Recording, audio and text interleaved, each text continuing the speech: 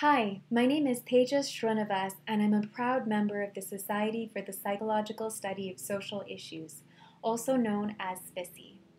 I'm glad that SPSSI has decided to partner with the March for Science. Especially in these times, it's important to send a clear message about the essential value of science and to emphasize that science need not be a partisan issue. Science has fundamentally shaped the way we live, and it's been critical to society's progress.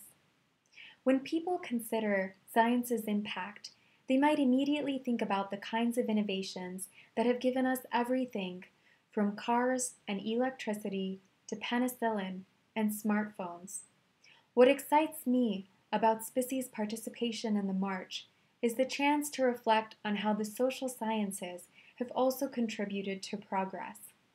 Just in the past year, SPSSI's work has helped inform public policy discussions and shape efforts to address a variety of social issues, from health disparities and climate change to gun violence and immigration. I want to live in a society that appreciates the value of social science and that strives to tackle social problems in an evidence based way. So I hope you'll join me in celebrating SPSSI's work and its partnership with the March for Science. Let's try to live in a fact filled world.